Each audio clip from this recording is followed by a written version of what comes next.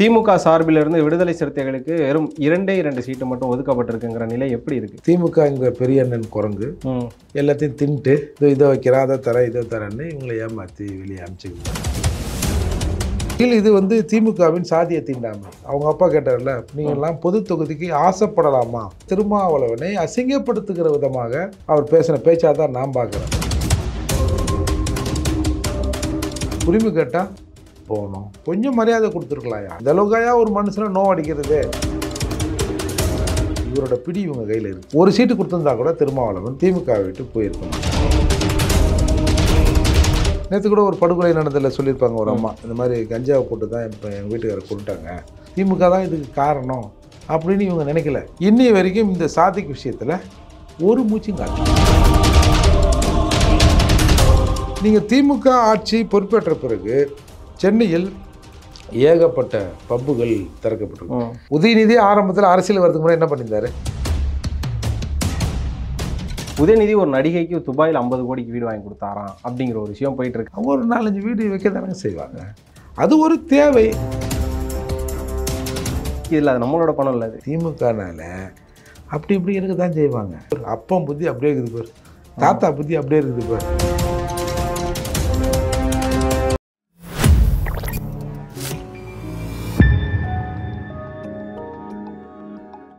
Three sixty நேயர்களுக்கு வணக்கம். இன்று நம்முடன் இணைந்திருக்கிறார் புரட்சி தமிழகம் கட்சியின் தலைவர் மற்றும் வழக்கறிஞர் திரு. ஏர்போர்ட் மூர்த்தி அவர்கள். நான் வணக்கம். தொடர்ந்து பல நாள் இழுபறியில் இருந்த ஒரு கூட்டணி குறித்த பேச்சுவார்த்தை திமுக விடுதலை சிறுத்தைகளுக்கு நடுவே இருந்ததே ஒரு முடிவுக்கு வந்திருக்கு. பெரும்பாலும் சொல்லப்போனால் விடுதலை சிறுத்தைகள் சார்பாக இருக்கவங்களுக்கு இது ஒரு ஏமாற்றமாகவும் அமைஞ்சிருக்கு. இதுக்கு பின்னாடி நிறைய பிரச்சனைகளும் வெடிச்சிட்டு இருக்கதா சொல்கிறாங்க அதாவது திமுக சார்பிலிருந்து விடுதலை சிறுத்தைகளுக்கு வெறும் இரண்டே இரண்டு சீட்டு மட்டும் ஒதுக்கப்பட்டிருக்குங்கிற நிலை எப்படி இருக்கு? இதுதான் இப்போ நேற்று கூட தோழர் திருமாவளவன் சொல்கிறார்ல இது வந்து பகிர்ந்து எடுத்துக்கொண்டோம். இது பங்கீடு இல்லை. அதானே. பகிர்ந்து எடுத்துக்கொண்டோம்ன்ற மாதிரி சொல்கிறாரு இந்த குரங்கு ஆப்பத்தை பகிர்ந்து கொடுக்கும்ல. கொடுக்கும்ல. கடைசியில் எது அதிகமாக திணிச்சுன்னுவாங்க? குரங்கு தானே அதிகமாக திணிச்சுன்னு ஒரு கதை சின்ன வயசில் படிச்சிருப்போம். அந்த கதை தான் இன்றைக்கி வந்து வெளியே வந்திருக்குது. திமுகங்கிற பெரிய அண்ணன் குரங்கு. எல்லாத்தையும் தின்ட்டு இதோ இதை வைக்கிறேன் அதை தரேன் இதை தரேன்னு இவங்களை ஏமாற்றி வெளியே அனுப்பிச்சிக்கணும் தான் நான் பார்க்குறேன்.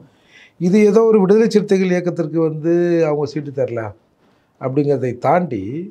ஒரு மிகப்பெரிய சமூகத்தின் குறியீடாக இருக்கிற திருமாவளவன் அதுதான் உண்மை. நம்ம அதை ஒத்துதானே ஆகணும். நாலு எம் நாலு எம்எல்ஏக்களும் இரண்டு எம்பிக்களும் இருக்கிற ஒரு பெரிய கட்சி. கட்சி. அப்புறம் மற்றவங்களாம் அது கீழே தானே. அப்படி இருக்கிற கட்சி ஒரு பெரிய மாநாட்டை கூட்டி அந்த மாநாட்டில் உன்னை வந்து பேச வைக்குது. உன்னை பேச வைக்கிற பொழுதே நாம் அன்றைக்கே நம்ம இதை விமர்சனம் பண்ணோம். அவ்வளோ பெரிய மாநாட்டை வந்து திருமாவளவன் கூட்டுறாரு. அதில் வந்த ஸ்டாலின் அவர்கள் திமுக தலைவர் முதல்வர் விட்டுருவோம் திமுக. தலைவர் அவர்கள் என்ன சொல்கிறாரு இவர் வந்து மாணவர் அணியில் எங்கள் பையனாக இருந்தார் எங்கள் பிரச்சார இதில் அணியில் இருந்தார். அப்போ எங்களுக்காக பிரச்சாரம் பண்ணார். இப்போ வந்து தலைவராக மாறி கூட்டணி என்ற பேரில் எங்களுக்காக பிரச்சாரம் பண்ணி கொண்டு இருக்கிறார் அதுக்கு என்ன அர்த்தம்? எங்கள்கிட்ட இருந்தா வந்தாப்புல. இல்லை இந்த பையன் நம்மக்கிட்ட வேலை செஞ்ச பையன் தான். இப்போ அவன் தனியாக இருக்கிறான். இருந்தாலும் நமக்கு ஆதரவாக இருப்பான். அப்படின்னு இயல்பாக சொல்லுவாங்கல்ல. அந்த பெரியண்ணன் மனப்பான்மையிலிருந்து இவ்வளவு பெரிய ஒரு இயக்கத்தை கட்டி இவ்வளவு மக்களை கூட்டி இருக்கிற திருமாவளவனை அசிங்கப்படுத்துகிற விதமாக அவர் பேசின பேச்சாக தான் நான் பார்க்குறேன். அதோடு மட்டும் இல்லாமல் அந்த கூட்டத்திலே அவர் சொல்கிறாரு இன்றைக்கு இந்த பட்டியல் சமூக மக்களுக்காக இருக்கிற ஒரே கட்சினா திமுக தான். அப்படின்னு சொல்கிறாரு அப்போ விசிகா இல்லையா? அப்போ என்ன அர்த்தத்தில் அவர் சொல்கிறாரு அதே போக்கில் இன்றைக்கு பகிர்வா பங்களிப்பா ஏதோ பிரித்து எடுத்துக்கினேன். அப்படின்னு ஒரு மன இறுக்கத்தோடு ஏதோ ஏழோ வீட்டில் வந்து யாருன்னா செத்துட்டா பிரபலங்கள் செத்துட்டா ஒரு பத்து பேர் ம- அஞ்சலி செத்துட்டு போய் அவர் அப்படி செஞ்சார் இப்படி செஞ்சார் அதை மறக்க முடியாது அப்படின்னு அலற மாஞ்சி வச்சுன்னு இருப்பாங்களே பின்னாடி ஆமா. அந்த மாதிரி ஒரு ப்ரெஸ் மீட்டை கொடுக்குறத நம்ம பார்க்குறோம். என்னோட பார்வையில் இது வந்து திமுகவின் சாதிய தீண்டாமை. அவங்க அப்பாவுக்கு இருந்த புத்தி அவரோட மகனுக்கு வந்திருக்கு. அவங்க அப்பா கேட்டார்ல நீங்கள்லாம் பொது தொகுதிக்கு ஆசைப்படலாமா? நீலாம் பொது தொகுதிக்கு கேட்கலாமான்றது சாதாரண வார்த்தை. ஏன் உங்களுக்கு தான் ரிசர்வ் தொகுதி இருக்குது அப்போ ரிசர்வ்லேயும் நிற்பீங்க பொதுவிலையும் நிற்பீங்களா அப்படின்னு கேட்டால் கூட ஒரு அர்த்தம் இருக்குது பொதுவில் வந்து எனக்கு வந்து எங்கள் கட்சியில் ஆளுங்க இருக்கிறானுவ? நான் அவங்களுக்கு தரணும். இப்போ உங்கள் ஆளுங்களும் எங்கள் கட்சியில் இருக்கிறான் அவன் கேட்டானா யோ அதான் உங்கள் ஆள் ஒருத்தன் கொடுத்துட்டோம்ல அப்படின்னு நாங்கள் சொல்லி தப்பிச்சுக்கணுவோம் எங்களுக்கு பொது தொகுதி நிற்பதற்கு ஆட்கள் இங்கே நிறைய இருக்கிறான் அதால் நீ அதை கேட்கலாமா. அப்படின்னு கேட்டால் ஒரு அர்த்தம் இருக்கு. ஆசையே வரக்கூடாதுன்னா? அது ஒரு அடிமைவாதம் தானே. அதாவது மேலவளவில் வந்து அந்த பஞ்சாயத்து தலைவர் கொல்லப்படுகிறார். அதாவது கொலைங்கிறது என்னை பொறுத்த வரைக்கும் அது வந்து ஒரு பெரிய ஒரு நமக்கு ஒருத்தன் எதிராக ஆகிறான் ம். இல்லை அது தப்போ ரைட்டோ நம்ம பார்வையில் அவன் நமக்கு வந்து எதிரானவன் நினைக்கிறோம். ஒரு எமோஷனில் அது நடக்கிறது இயல்பாக தான் நான் பார்க்குறேன். சட்டப்படி தப்புன்னாலும் அது அந்த சூழ்நிலை. உணர்வின் உச்சமா ஆமாம் ஆயிடுது. உச்சமாக ஆகி ஏதோ அறிவு விட்டு போய் சரிடா முடிச்சிடுவோண்டா ம். அப்படின்னு பார்க்குறேன். இன்னைக்கு அப்படி இருக்கிற போது அந்த தலைகளை வெட்டினார்கள். ஏழு பேர் தலையை வெட்டினான். தலையை வெட்டினது கூட பெருசு இல்லை. தலையை வெட்டிட்டு அந்த தலையை ஒரு தலையை கிட்டத்தட்ட ஒன்றரை கிலோமீட்டர் தள்ளி கொண்டு போய் ஒரு கிணத்துலையோ இங்கே போட்டானுவோம் அது எதுக்கு அது? அவன் தான் செத்துட்டான். எதுக்கு அந்த தலையை உருட்டி கொண்டு போய் ஃபுட்பால் விளையாண்டு போனான்னு தான் சொல்லுவாங்க. அப்போது இவன்கள் இந்த உலகத்துக்கு ஒரு நீதியை சொல்ல விரும்புகிறான் டேய் சட்டம் சொல்லும். இது வந்து ரிசர்வ்னு நாங்கள் சொல்லுவோம் நீ நிற்கக்கூடாதுன்னு. இல்லை நீ நான் மீறி நிற்கிறேன்னா மீறி நிற்கிறேன்னா உன் தலை இருக்காதுப்பா. அப்படிங்கிறது தான் அதோட அர்த்தம். அதே மாதிரி குறிஞ்சாங்குளத்தில் கோயில் கட்டுறதுக்கு போகிறாங்க ஒரு நான் அந்த கோயில் கட்டுற பணி தீவிரமாக நடக்குது. எதிர் தரப்பினர் பிரச்சனை பண்ணுறாங்க வந்து அதையும் மீறி இல்லை நாங்கள் எங்கள் ஏரியாவில் நாங்கள் கோயில் எங்கள் கோயிலை கட்டுவோம்னு சொல்கிறாங்க அப்போ அவர்கள் சினிமா பார்த்துட்டு வரும்போது அந்த நாலு பேர் கழுத்தையும் வெட்டுறான். இதே தான். எமோஷனில் வெட்டுறான்னு கூட வைங்க. வெட்டிட்டு அவர்கள் ஆணுறுப்பை அறுத்து மாற்றி மாற்றி இன்னொருத்தன் வாயில இன்னொருத்தன் வாயில திணிக்கிறான். அப்போது அதுக்கு என்ன காரணம்? உரிமை கேட்டால் போகணும். அப்படின்னு ஒரு நீதியை அவர்கள் சொல்ல வந்து மற்ற எல்லாரும் ஏய் பார்த்துக்க இந்த மாதிரி நீயும் உரிமை கேட்டினா இந்த மாதிரி ஆயிடுவேன் அப்படிங்கிற பார்வை தானே அது. அதே பார்வை தான் இந்த பார்வை. நீலாம் பொது தொகுதிக்கு ஆசைப்படலாமான்னு கேட்டவர் இன்றைக்கி தலையால் தண்ணி கொடுக்குறாங்க. நீங்கள் கூட்டணியில் இருக்கிற பல்வேறு கட்சிகள் இருக்கீங்க கம்பேர்ட் டு விசிகா ம். கம்யூனிஸ்ட்டு காங்கிரஸ்லாம் ஒரு கட்சியா? அது வேணா தமிழகத்துல வேற கண்டிப்பா கிடையாது. இப்போ சீட்டுங்கிறது எதை வச்சு நிர்ணயிக்கப்படும்? அவரோட வலிமை அமைப்பு ஓட்டு சமூகம் இதை வச்சு தான் தீர்மானிக்கப்படும். அப்போது விடுதலை இப்போ திமுகவே சொல்லுது நாங்கள் இன்றைக்கு சட்டமன்றத்தில் ஜெயிச்சிருக்கிறோம் என்றால். எங்களின் வெற்றி பெற்ற வாக்குகளில் பதிமூணு சதவீதம் இந்த பட்டியல் சமூக வாக்கு. அப்படின்னு சொல்கிறாங்க அப்போ இது பட்டியல் பதிமூணு சதவீதம் திருமாவின் வாக்கு அல்ல ம். பட்டியல் சமூகத்தின் வாக்கு. அப்போ இப்போ நாங்கள்லாம் சொல்கிறோம்ல யோ எங்களுக்கும் அவருக்கும் அரசியல் ரீதியான பிரச்சனை இருந்தாலும் ஒரு எங்கள் இயக்கத்தை இந்த மாதிரி அசிங்கப்படுத்துறதை எங்களால் ஒத்துக்க முடியாது அப்படின்னு சொல்கிறோம். அப்போ எல்லார் பார்வையும் இன்றைக்கி எப்படி இருக்குது? இன்றைக்கி விடுதலை சிறுத்தைகள் கண்ணாமண்ணன் திமுகவை அந்த சோஷியல் மீடியாக்களில் எழுதுகிறாங்க அப்போ நடுநிலையாளர் கூட யோ கொஞ்சம் மரியாதை கொடுத்துருக்கலாம்யா ம். ஓரளவுக்கு அது மரியாதை கொடுக்கணும்ல. இந்த அளவுக்காயா ஒரு மனுஷனை நோவடிக்கிறது என்ன ஒரு தொகுதி எக்ஸ்ட்ரா கொடுத்தா தான் என்ன. அட உங்கள் சின்னத்தில் கூட கொடுத்து நிற்க வைங்களையா ரெண்டு தொகுதி அங்கீகாரம் வேணும்னாங்க. சரி ரெண்டு தொகுதி உங்கள் சின்னத்தில் நின்னுங்க. ஒன்று எங்கள் சின்னத்தில் நில்லுங்கன்னா உங்கள் கணக்கு தானே அது. அதுக்கு கூட உங்களுக்கு மனம் வரனா என்னென்று இன்றைக்கு ஒரு பெரும் அதிருப்தியை இந்த சமூக மக்களிடம் அது ஏற்படுத்துது. இந்த சமூகம் திருமாவளனை ஒத்துக்குதோ இல்லையோ முழுசா அது வேற. ஆனால் எங்களுக்குள் ஒரு பிரச்சனை எங்களுக்காக ஒரு பிரச்சனைன்னும் போது மக்கள் வந்து தனக்கான பிரச்சனையாக தான் பார்க்குறாங்க இப்போ நான் பார்க்குறேன்ல ஆமா. இது எங்கள் சமூகத்துக்கான பிரச்சனை எனக்கான பிரச்சனை என்னையும் அசிங்கப்படுத்துகிற மாதிரி தான் இன்றைக்கு திமுக அசிங்கப்படுத்திருக்குன்னு தான் பார்க்குறோம். இது தேர்தலில் விரைவில் ஒரு முடிவை திமுகவுக்கு எதிர்ப்பாக கொண்டு வரும் என்பதில் எந்த மாற்றமும் இல்லை. என்னன்னா இவ்வளோ ஓட்டு சதவீதம் வந்து திருமாவளவன் அவர்கள்ட்ட இருக்கு விடுதலை சிறுத்தைகள்ட்ட இருக்குன்ற பட்சத்துல அவரோட குரல் ஓங்கி ஒழிக்காததுக்கான காரணம் என்னவா இருக்கு? அவர் நின்று கேட்டிருக்கணும்ல எங்களுக்கு இத்தனை சீட்டு கொடு நான் வந்து இவ்வளோ ஓட்டு வச்சிருக்கேன்னு அவர் கேட்டிருக்கலாம்ல அவர் அந்த விஷயத்த பண்ணல அப்படிங்கிற ஒரு விஷயம் இருக்குல்ல. அதுக்கு வெளியில் என்ன சொல்கிறாங்க இந்த சாதிய பெரிய வட்டத்தை. ஒரு சின்ன வட்டம் தடுக்குதுன்றாங்க. அதுக்கு நம்ம என்ன சொல்கிறது ஏன்னா திராவிட கட்சிங்கிறதே சாதி அமைப்புகளும் அப்பாற்பட்டது. அதுல தானே அவங்க பிரிக்கிறாங்க. ஆரியம் வேற தமிழர்கள் வேற திராவிடம் வேறன்றாங்க. வி ஆர் திராவிடன் ஸ்டாக்குன்றாங்க. நான் சொன்னது உங்களுக்கு புரியல. இவ்வளோ பெரிய சாதிய வட்டத்தை. ஒரு கையளவு வட்டம் தடுத்து வச்சிருக்குன்றாங்க. ஓகே. அதால் ஏங்க இவங்க வந்துங்க நம்மளை தப்பு பண்ண விட்டுருவாங்க. நம்ம சபலத்தை நம்முடைய ஆசையை இவர்கள் தூண்டி நம்மளை தப்பு பண்ண விட்டுட்டு அதை ஒரு கருவியாக பயன்படுத்துவாங்க. அதுல லாக் பண்ணுவாங்கன்றீங்க. அதில் லாக் பண்ணுவாங்க. இதுதான் அரசியலில் இது சாதாரணம். இப்போது எடப்பாடியார் வந்து நாலு சீட்டு தரேன்றார். உனக்கு என்ன அங்கீகாரம் தானே. நீ என்ன கேட்குறப்பா நாங்கள் திமுகவில் ஜெயிச்சால் எங்களை உரிமையை வாங்கி பிடுங்கி அப்படி கொடுத்துருவோம் நான் சொல்கிறேன் எங்கள் கட்சிக்கு அதிகாரம் வேணும் அங்கீகாரம் வேணும் தேர்தல் கமிஷன்லன்ற. சரி அவங்க அந்த பக்கம் நாலு சீட்டு தரேன்றாங்களா? போக வேண்டியது தானே. அப்போது திமுக என்பது அப்படியே உள்ளே இழுத்து உறிஞ்சி அவரை ஏதாவது ஒன்றில் சிக்க வச்சு தங்கள் வளையத்துக்குள்ளே வைத்துக் கொள்வார்கள். அப்படி தான் நான் பார்க்குறேன். அப்படி தான் எல்லாரும் பேசுகிறாங்க. அதுதான் காரணம். அவர் அதிமுகவுக்கு போகாததுக்கும் அதுக்கு பதில் சொல்லாததுக்கும் காரணம் என்னவான அதுதான் சார். இவரோட பிடி இவங்க கையில் இருக்குது இருக்கு. அதெல்லாம் நம்ம பேசணும்னா அது ஒரு மாதிரியா இருக்கும். இவரோட பிடி இவங்க கையில் இருக்குது அதால இவங்க ஆட்டி வைக்கிறாங்க. நீங்கள் ஒன்றா பாருங்கள் ஒரு சீட்டு கொடுத்துருந்தா கூட திருமாவளவன் திமுக விட்டு போயிருக்க மாட்டார் போகிற நிலையில் அவருக்கு இல்லை. ஒட்டுமொத்தமாக விடுதலை சிறுத்தைகள் இருக்கிற தோழர்கள் எல்லாரும் வேறு கட்சிக்கு போனால் கூட. வேறு அணிக்கு போனால் கூட திருமாவளவன் போகவே மாட்டார். ஏன்னா இந்த நாடாளுமன்ற தேர்தலில் நிறைய விஷயங்கள் அடுத்தடுத்து வந்துக்கிட்டே தான் இருக்கு. ஒரு பக்கம் திமுக மீதான குற்றச்சாட்டுகளும் பார்த்தீங்க அப்படின்னா நிறைய இடங்களில் சாட்சியங்களோடும் அதற்கான சந்தர்ப்பங்களோடுமே வந்து வெளியில் வருது. அதற்கு ஒரு உதாரணம் தான் பார்த்தீங்கன்னா இப்போ போதை கலாச்சாரம் அப்படிங்கிறது தமிழ்நாட்டில் வந்து இந்தியாவிலே அதிகரிச்சிருச்சு. இப்போ கொஞ்ச நாளாக தமிழ்நாட்டில் இருக்கக்கூடிய அனைத்து மீடியாக்கள்லையுமே வந்து லைம் லைட்டில் இருக்குதுன்னு பார்த்தீங்கன்னா போதை கலாச்சாரம் தான். இதை வந்து திமுக அதிக அளவில் ஊக்குவிக்குது அப்படிங்கிற மாதிரியான ஒரு விஷயங்கள் இருக்குது இதெல்லாம் வந்து வர எலெக்ஷனில் உங்களை பாதிக்குமா? இல்லை மக்கள் தான் இதுக்கு ஒரு முடிவு பண்ணணும். இப்போ நீங்கள் சாதிக்கு. வந்து கிட்டத்தட்ட ரெண்டாயிரம் கோடி மூவாயிரம் கோடி அடிச்சிட்டாரு போயிட்டாரு வந்துட்டாரு. இவ்வளோ பெரிய ஹப் வந்து இங்கே தமிழ்நாட்டிலேருந்து தான் போயிருக்கு.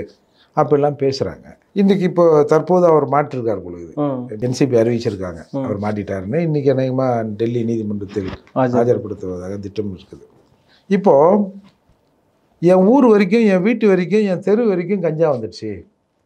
நேற்று கூட ஒரு படுகொலை நடந்ததில் சொல்லியிருப்பாங்க ஒரு அம்மா. இந்த மாதிரி கஞ்சாவை போட்டு தான் இப்போ எங்கள் வீட்டுக்காரரை கொண்டுட்டாங்க. அப்போது இப்படி கஞ்சா பரவலாக்கப்பட்டு நம்ம வீட்டில் இருக்கிற பசங்களே கஞ்சாவுக்கு அடிமையாயிட்டாங்கன்ற அளவுக்கு தெரிந்தவர்கள் இது ஏன் இப்படி லிபரலைஸ் ஆச்சு? இது ஏன் இப்படி எல்லா இடத்துலையும் கிடைச்சது?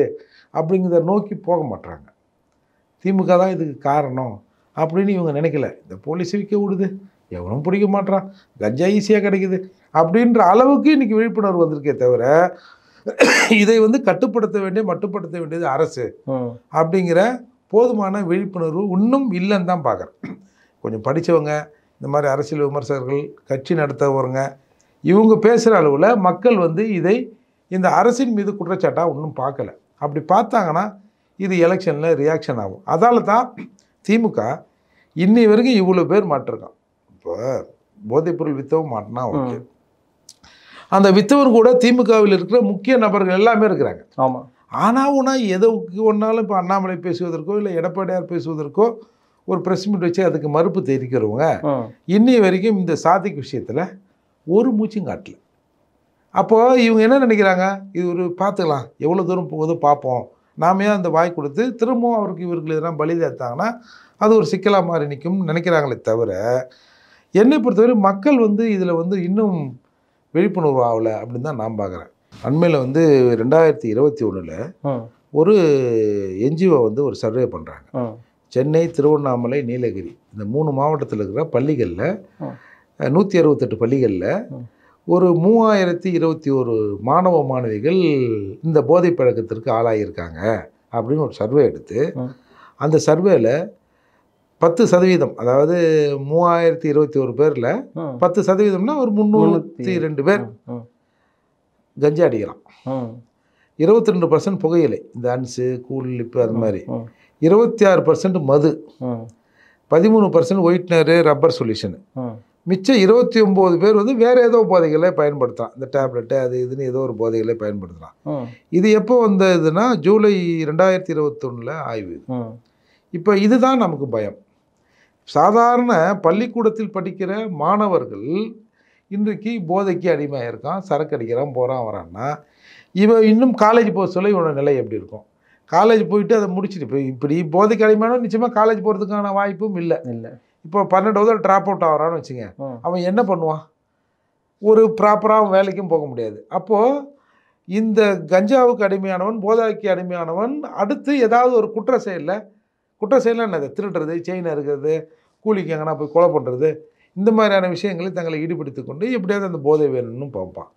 ஒரு சிலர் என்ன பண்ணுவோம் பொம்பளை பசங்க என்னை எப்படி ஒன்றாலும் யூஸ் பண்ணீங்க? ஏதாவது அது கொஞ்சம் ஏற்பாடு பண்ணுங்க.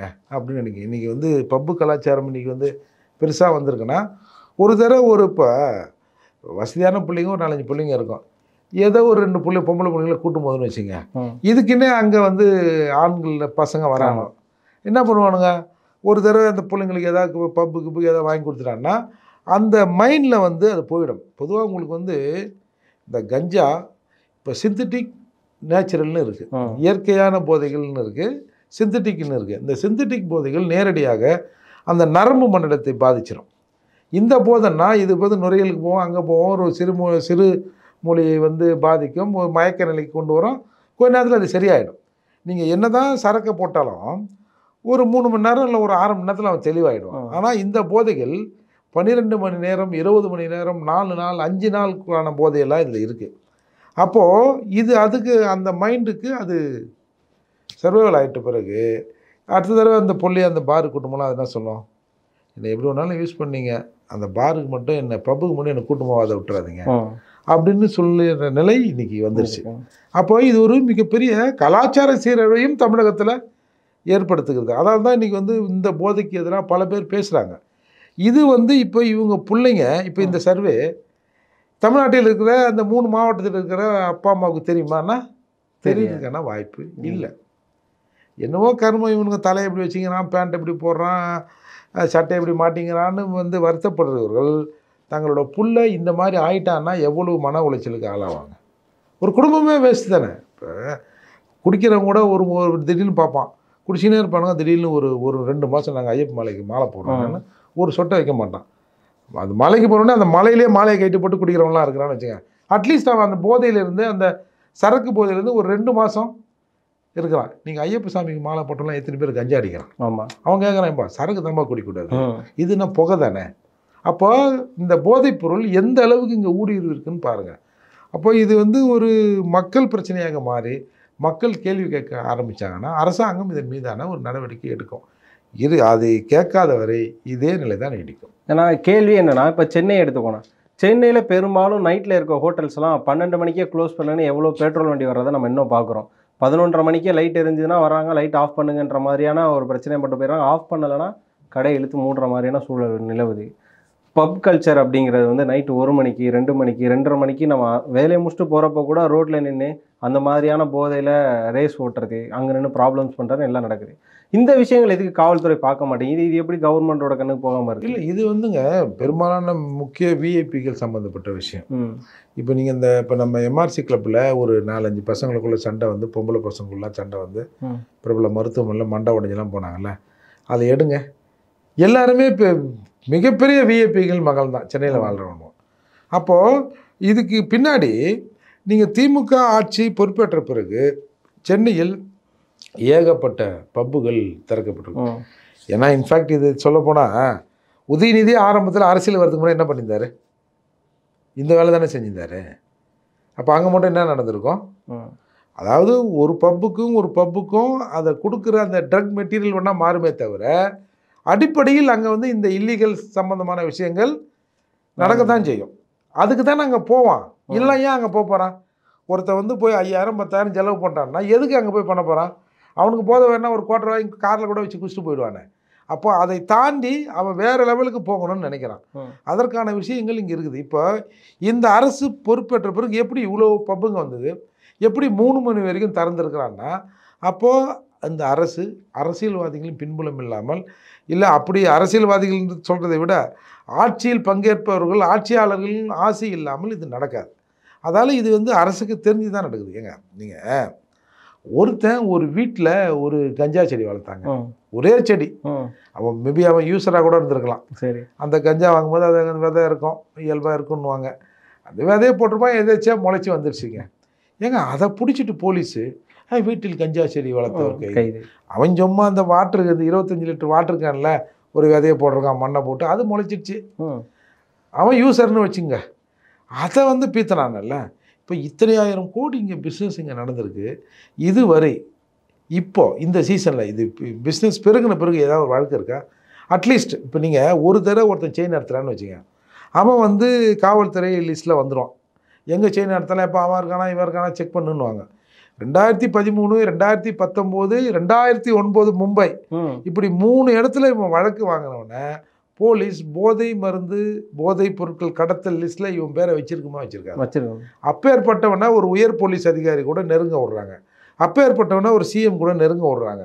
உதயநிதி கூட நெருங்க விடுறாங்க. தமிழக அமைச்சரவையில் இருக்கிற பெரும்பாலான அமைச்சர்கள் இவன் ஹோட்டல் தந்தா இவன் லாட்ஜ் தந்தா அதை போய் இவன் திறந்து வைக்கிறான். இதுதான் வேலை இவனுங்களுக்கு ஆ? அப்போது கருணா ஸ்டாலின் அவர்கள் வீடு வரைக்கும் அந்த சாதிக்கு உள்ளே போகிறார் அப்போது இதில் என்ன நடந்திருக்கு? அப்போது நீ கொடுத்த சும்மா வந்து ஒரு பத்து லட்ச ரூபா வந்து முதலமைச்சர் நிதி கொடுத்தாரு. ரெண்டு லட்சம் நிதி வந்து ஸ்போர்ட்ஸுக்கு கொடுத்தாரு அது கொடுத்தாரு. ஒரு பத்தொம்பது சிசிடிவி கேமராவை நம்ம தமிழக சென்னை போலீஸுக்காக போட்டு கொடுத்தாரு. அப்படின்றதுக்காக இந்த நெருக்கம் வந்திருப்பதா நம்ம நினைக்கல. இப்போ நீங்கள் இந்த ஏரியாவை எடுத்தீங்கன்னா இந்த ஏரியாவில் இருக்கிற சிசிடிவி கேமராலாம் எவன் போட்டிருப்பான். போலீஸ் அப்படிது இந்த மாதிரி கிரிமினல் ரெண்டாம் நம்பர் வேலை செய்கிறவன் தான் போட்டிருப்பான். ஆக்சுவலாக அவங்க என்ன சொல்கிறாங்க தொழிலதிபர்களே இல்லை உங்கள் ஏரியாவில் இருக்கிற விஐபி கிட்ட போய் இந்த கேமராவை போட்டுக்கோன்னு சொல்கிறாங்கன்னு வச்சுங்களேன் இப்போ போலீஸ் இப்போ நல்லவன் ஏன் போலீஸ் ஸ்டேஷன் போக போகிறான் யோ ஏன் மயிருக்குண்ணா நான் ஏன் அங்கே போக போகிறேன்னா ரெண்டாம் நம்பர் இல்லை இந்த மாதிரி இல்லீகல் வேலை செய்கிறோம் யோ இன்னைக்கெல்லாம் நம்ம என்னைக்காவது ஒரு நாள் போலீஸோட நமக்கு தேவை தேவைப்படும். அவங்க கேட்குறது ஒரு பத்து ஐம்பது கேமரா போட்டு கொடு அப்படின்னு இயல்பாக செய்வாங்க. அந்த மாதிரி தான் இவன் வந்து அதற்காக இவ்வளவு நெருக்கம் காட்டப்பட்டிருக்குமா? அப்போ இந்த ஏரியாவில் வந்து சிசிடிவி கேமரா போட்டவெல்லாம் போய் காவல்துறையில் போய் பரிசு வாங்கிட முடியுமா? இந்த நினைவு சின்ன நினைவு பரிசு வாங்க முடியுமா? அப்போது இதையெல்லாம் தாண்டி ஏதோ ஒரு பெரிய விஷயம் ஆட்சியாளர்களோட இவருக்கும் நடந்திருக்கு. இல்லைன்னா இந்த இவ்வளோ பெரிய லாபிங்கை நடப்பதற்கான வாய்ப்பே இல்லை. ஏன்னா இப்போ கூட சமீபத்தில் ராமேஸ்வரத்தில் கஞ்சா ஆயில பறிமுதல் பண்ணியிருக்காங்க. அதை பற்றி கூட எந்த ஊடகத்துலையுமே பெருசாக பேசப்படலைங்கிற ஒரு விஷயம் இருக்குல்ல. சார் கஞ்சா ஆயிலுங்கிறது இன்னைக்கு இல்லை. கிட்டத்தட்ட ஒரு இருபது முப்பது வருஷமாக கஞ்சா ஆயிலை எடுக்கலாம் இப்போ நம்ம பாதாம் ஆயில்னு விற்கிது ஆமாம் அதே மாதிரி கஞ்சா ஆயிலும் இருக்குது சும்மா அதை வந்துங்க இப்போ நீங்கள் இப்போ இப்போ கஞ்சாங்கிறது கூடங்க அது வந்து ஒரு மருத்துவ பொருளாக பயன்படுத்தப்பட்ட பொருள் தான். அப்போ வந்து நாளடைவில் வந்து அதை வந்து ஒரு குறைந்த அளவில் எடுத்துக்கொண்டால் அது உடலத்துக்கு நல்லதுன்னு அந்த காலத்துலேருந்து ஒரு சிஸ்டம் இங்கே சொல்லப்பட்டிருக்கு. ஆனால் இன்றைக்கு இந்த போதை வஸ்தா அது மாறுது. அதை எப்படி பயன்படுத்தணுமோ அப்படி பயன்படுத்தாமல் போதைக்காக பலர் பயன்படுத்துகிறான் அது மட்டும் இல்லாமல் எங்கே போனாலும் இந்த போலீஸ் வேற தாவறகிறான் ஊது ஊது ஊதுன்னு. இவனுக்கு என்ன பண்ணுறாங்க எப்பா நூற்றி ஐம்பது ரூபா கொடுத்து ஒரு குவார்டர் வாங்குறத ஐம்பது ரூபா நூறுரூவாய்க்கு ஒரு பொட்டலம் வைக்கிறியா ஈஸியாக வேற கிடைக்குது. போட்டோமா ஏற்றணுமா அது பாட்டு சொர்க்கத்தில் மிதக்கிறான் அப்படின்ற நிலைக்கு இங்கே இருக்கிறவர்கள் தள்ளப்பட்டார்கள். அதுக்காக நான் வந்து போலீஸ் வந்து பிடிக்கிறது நான் தப்புன்னு சொல்ல நூற்றி ஐம்பது ரூபாய்க்கு ஒருத்தன் குடிச்சிட்டு போகிறாங்க. ஏங்க அவனை பிடிச்சி பத்தாயிரம் ஃபைன் போடுறான். இவனே ஒயின் ஷாப் வைக்கிறான். இவனே பாரை திறக்கிறான். இவனே பாரில் உட்காந்து குடிக்கிறதுக்கு விற்கிறான் அரசாங்கமே ஏசி பார் லக்ஸரி பார்னு நடத்துது. குடிச்சிட்டு வெளியே வந்தால் வெளியே நிற்கிறான் போலீஸ். என்ன தான் இவன் பண்ணுவான்? அப்படின்னுங்க நாங்கள் இதுக்கெல்லாம் மாறிட்டேங்கன்னு பல பேர் வந்து இதுக்கு வக்காலத்து வேற சொல்கிறோம் அவங்க அவனுங்க நியாய ஜெனுவனான அவன் பார்வையில் அது ஜெனுவனான காரணம் தானே. நூற்றம்பது ரூபாய் குஸ்தி எவனா பத்தாயிரம் பயன் கட்டுறதுன்றான். ஆ? அப்போ இப்போது சரக்கு இல்லைன்னா ஒன்றும் பிரச்சனை இல்லை. பிரச்சனை இல்லை. அப்போது இந்த மாதிரியான சூழ்நிலைகள் ஒரு மனிதனை தப்பு பண்ண வைக்கிறாங்க தப்பு பண்ணணுக்கு வக்காலத்து வாங்கலை. இருந்தாலும் இந்த சூழ்நிலையை நம்ம வந்து அடக்க வேண்டியது அரசோட கடமை தானே. இன்றைக்கி வந்து அரசு வந்து எல்லா ஸ்கூல்லையும் போய் பையனோட உதட்ட பிரிக்கி பார்த்து அவன் கூல் லிப்பி யூஸ் பண்ணுறானா அப்படின்னு பாருங்கள் ஒரு சர்வே எடுத்து அனுப்புங்கன்றான்ல. இது வந்து ஒரு அறிவார்ந்த செயலா. அரசு எவன்டா அந்த கூல் லிப் லீடர் யார் இவன் எப்படி இவன் டீலர் எப்படி? எவன் ஹோல்சேல் எவன் ரீட்டைல் அப்படின்னு பிடிச்சிட்டா முடிஞ்சு போச்சு. இதுக்கு போய் பையன் வாயை திறந்து பார்க்க வேண்டிய அவசியம் இல்லைல்ல. அப்போ அரசாங்கத்தின் நடவடிக்கை எப்படி இருக்குது தடுக்க வேண்டிய இடத்துல விட்டுட்டு பயன்படுத்துகிறவனை தேடி அவனை வந்து பிடிக்கிறதுங்கிறது சரியானது இல்லைல்ல. ஏன்னா இப்போ நமக்கே தெரியும் உதயநிதி வந்து எல்லா மேடையிலுமே ஒரு விஷயம் சொல்லுவார். இருக்கிற ஐடி விங்லேயே வந்து பார்த்தீங்கன்னா திமுகவோட ஐடி விங் தான் மோஸ்ட் பவர்ஃபுல் அப்படிங்கிற ஒரு விஷயத்த அவர் நிறைய மேடைகளில் சொல்கிறத நம்ம கேட்டிருப்போம். தொடர்ந்து இது மாதிரியான குற்றச்சாட்டுகள் வைக்கும்போது அவங்களோட ஐடி விங்லேருந்து எதுக்கு எதுக்குமே ரிப்ளை பண்ணாமல் இருக்காங்க. ஏங்க இவனுங்க வந்து இப்போங்க ஒரு கேவலமான நிகழ்வு இந்த ஐடிவிங்கிற பேரில். எந்த கட்சிக்காரனும் ம். அவன் கட்சி அவன் தலைவர் என்ன பண்ணார்? என்ன கீழாரு அதை பண்ணுறதில்ல எதிராளிகள் எங்கன்னா ஏதாவது பண்ணாங்கன்னா அதுக்கு கீழே அதை மீம்ஸ் ஆக்கி போடுறது தான். இப்போ விடுதலை கட்சியில் ஐடி விங்க வச்சுருக்கான். என்ன பிடுங்குறானுங்க இவனுவா? தலைவர் அதை பண்ணார் இதை பண்ணார் நான் பேசுகிறானுவா அவங்களுக்கு எதிராக ஏதாவது அரசியல் ரீதியாக எவனா வந்து எங்கேயாவது பேசுனான்னா அது கீழே போய் அவங்க அத்தாங்க அம்மா அது இது அசிங்க அசிங்கமாக போடுறது. இந்த வே இந்த கீர்த்தனமான வேலையை மட்டும்தான் இவனுங்க செய்கிறாங்க அதே மாதிரி இப்போ இது நம்ம திமுக இருக்கிற ஐடிவிங்க என்ன பண்ணுது. இந்த ஏடிஎம்கே பிஜேபி மற்றவங்க போனவங்க என்னென்ன கிரிட்டிசைஸ் பண்ணுறாங்களோ அரசை அதை கிண்டல் பண்ணி கேலி பண்ணி கொச்சை பண்ணி போன்ற வேலையை தான் இவங்க செய்கிறாங்க அதால் என்னை பொறுத்தவரை இவங்க வந்து ஒரு பத்து ஆண்டுகள் கழிச்சு ஆட்சிக்கு வந்திருக்காங்க. இவங்க இவங்ககிட்ட இல்லாத பணம் இல்லை. இவங்க நினச்சா தமிழ்நாட்டை கூட வாங்கிடலாம். இல்லை இன்னும் ரெண்டு ஸ்டேட்டையும் சேர்த்து கேளுடா. இப்போ ஒரு படத்தில் கவுண்ட் பண்ணி சொல்லி இந்த ரோடு எவ்வளோடா அது எவ்வளோடா இது எவ்வளோன்ற மாதிரி இவங்க நினைத்தா இந்த ஸ்டேட் எவ்வளோடா அந்த ஸ்டேட் எவ்வளோடா வாங்கடா அப்படின்ற நிலையில் இருக்கிறாங்க. அப்போது குறைந்தபட்சம் இந்த ஏழை எளிய மக்களின் வாழ்வாதாரத்தை உறுதிப்படுத்தணும்ல. சார் நீங்கள் பத்தாயிரம் கோடிக்கு வந்து போதை விற்றுருங்க இந்த நாட்டையே விற்றுருங்க என் தலைக்கு பத்து அடி விட்டுட்டு கூட விற்றுருங்க. எனக்கு ஒன்றும் பிரச்சனை இல்லை. என் தலையை இடிக்கிற அளவுக்கு பிரச்சனை வரக்கூடாது. நான் வந்து ஈஸியாக எழுந்தேன்னா கா என் வேலையை நான் பார்க்கணும். எந்த வெளியில் சட்ட ஒழுங்கு ஓரளவுக்கு சுமாராக இருக்கணும். விலைவாசி கம்மியாக இருக்கணும். என்னுடைய வாழ்வாதாரம் நான் உழைச்சி நான் சம்பாதிச்சு நான் சாப்பிட்டு நான் தூங்கி என் ரொட்டீன் லைஃப் வந்து ஸ்மூத்தாக போகணும். அது மட்டும்தான் மக்கள் பார்க்குறான். அதை கூட இவங்க சரி பண்ணல. எங்கே பார்த்தாலும் சட்டம் ஒழுங்கு சீர்கிட்டு இருக்குது கஞ்சா போதை எல்லா விலைவாசியும் ஏறி இருக்குது உழைக்கின்ற ஏழை எளிய மக்களை இலவசன்ற பேரில் இவனாக இவங்களாக கொடுத்துட்டு அசிங்கப்படுத்துறது கொச்சைப்படுத்துறது. மக்களை மக்களாகவே பார்க்கறதில்ல. அதுலேயும் குறிப்பாக பட்டியல் சமூக மக்களை இவன் ஒரு உயிருள்ள ஜந்தாவே இந்த அரசு பார்க்க மாட்டேங்குது. மிக மிக இதுவரை தமிழக வரலாற்றில் பட்டியல் சமூக மக்களை இவ்வளவு கீழ்த்தரமாக பார்க்கிற அரசை நம்ம பார்க்கல. ஆனா இவ்வளவுக்கும் பாத்தீங்க அப்படின்னா விடுதலை சிறுத்தைகளோட கூட்டணியில இருக்கிற கட்சி. இல்லை அவங்க தான் அங்கே போய் எலி பொறியில் மாட்டின எலி மாதிரிலாம் மாட்டிட்டாங்க. அதெல்லாம் அவங்களால என்ன பண்ண முடியும்? அவ்வளோதான் அது அவங்கள அவங்க பல்ல பிடிங்க அவங்க எப்பயும் வச்சுட்டாங்க. பொதுவாக இப்போ சமூகத்தில் ஒரு சிந்தனை வரும்ன்ற எண்ணம் கூட திமுகவுக்கு இல்லை. அதால தான் இன்றைக்கி வந்து தொடர்ந்து எல்லாரும் திமுகவை விமர்சனம் பண்ணுறோம் இல்லைனா அவன் போய் நீ எக்கன்னா கெட்ட முடியாப்பா திமுகனே இதெல்லாம் செய்ய தான்பா செய்யும். அப்படின்ற ம ஒரு மைண்ட் செட்டில் ஜனங்க இருக்கிறாங்க. ஆனால் அதையும் தாண்டி ஏழை எளிய மக்களின் வாழ்வாதாரத்தை இவர்கள் வந்து பாதிக்கிறார்கள் என்ற நிலையில் தான் இன்றைக்கு வந்து திமுக அரசு மீது ஏகப்பட்ட விமர்சனங்கள் வருது. ஏன்னா தொடர்ந்து நிறைய விமர்சனங்கள் வந்து ஸ்டாலின் மீது வந்தது. இப்போ அடுத்து பார்த்தீங்க அப்படின்னா உதயநிதி அவர்களை டார்கெட் பண்ணி வர்றதுன்றது இல்லை. இப்போ சோஷியல் மீடியாவில் பார்த்தீங்கன்னா ரொம்ப பரவலாக பேசப்படுறதே உதயநிதி ஒரு நடிகைக்கு துபாயில் ஐம்பது கோடிக்கு வீடு வாங்கி கொடுத்தாராம் அப்படிங்கிற ஒரு விஷயம் போயிட்டு இருக்கு. அதுக்குமே அவங்க சைட்லேருந்து பதில் வரல. ஏங்க. இப்போ நீங்கள். அந்த காலத்துல பண்ணையார் இருப்பார். ம்? அவங்க ஒரு நாலஞ்சு வீடு வைக்க தானங்க செய்வாங்க. இப்போ மனுஷனுக்கு பணம் என்னங்க. இப்போ நம்ம ஒரு நாலு இட்லி சாப்பிட்றோம். சரி. உதயநிதி நாற்பது இட்லியாக சாப்பிட முடியும். நம்மளோட அஞ்சு சாப்பிட்லாம் இல்லை மூணு சாப்பிட்லாம். அதுக்கப்புறம் அந்த பணத்தை கொண்டு போய் என்ன பண்ணுவாங்க? என்ன பண்ண முடியும்? பணத்தை என்ன பண்ண முடியும்? தின்னங்க திங்க முடியும். நீங்களாம் நீங்கள் பத்து ரூபா கட்டு தின்னுங்க. நான் வந்து ஐநூறுரூவா கட்டு திங்கன்னு திங்க முடியுமா? அது ஒரு தேவை. அது வந்து போகிறாங்க இதில் என்ன பெரிய விஷயம்? அது யாரோட காசுண்ணே யாரோட காசுன்னா? அது இடிக்குது இல்லை அது நம்மளோட பணம் இல்லை அது. ஆமாம். சரி யார் கேட்குறான் இப்போ? என் படத்தில் ஏன்டா நீ போகிறேன்னு யார் கேட்டா? அதாவங்க ஏங்க இது அவங்க வேலையே இதாங்க. திமுகனால அப்படி இப்படி இருக்க தான் செய்வாங்க. நீங்கள் நம்ம என்ன சொல்கிறது அது வந்து அவங்க ஒன்று சொல்லுவாங்கல்ல பேர் இது புத்தி பேர் அப்பம் புத்தி அப்படியே இருக்குது பேர் தாத்தா புத்தி அப்படியே இருக்குது பேர் அப்படின்னு நம்ம வீட்டில் சாதாரணமாக சொல்லுவாங்கல்ல. அந்த மாதிரி வழியில் வந்தவர் அதை அவர் செய்கிறாரு என்ன பண்ணுறது அவரோட மச்சான் அது. அப்படி தான் நம்ம இதை எடுத்துக்கணும். சரி நான் பொறுத்திருந்து பார்ப்போம். இன்னும் களங்கள் நிறைய நாட்கள் இருக்கு களத்தில் என்ன நடக்குது ரொம்ப நன்றி நான் நிறைய விஷயங்கள் பகிர்ந்துக்கிட்டீங்க நன்றி. நன்றி.